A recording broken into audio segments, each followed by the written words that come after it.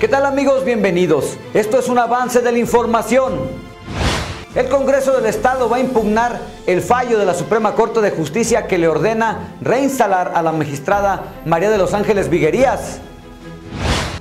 Entonces hay una invasión de competencias en la resolución por parte del Poder Judicial de la Federación.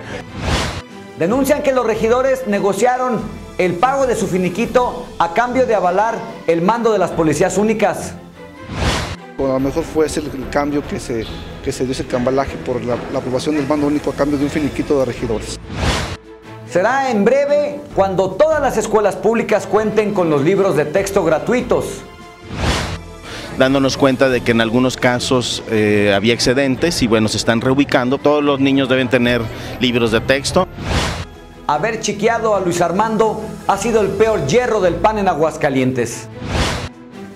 solapar eh, a una gente que nunca fue panista. Luis Armando Reynoso nunca fue panista.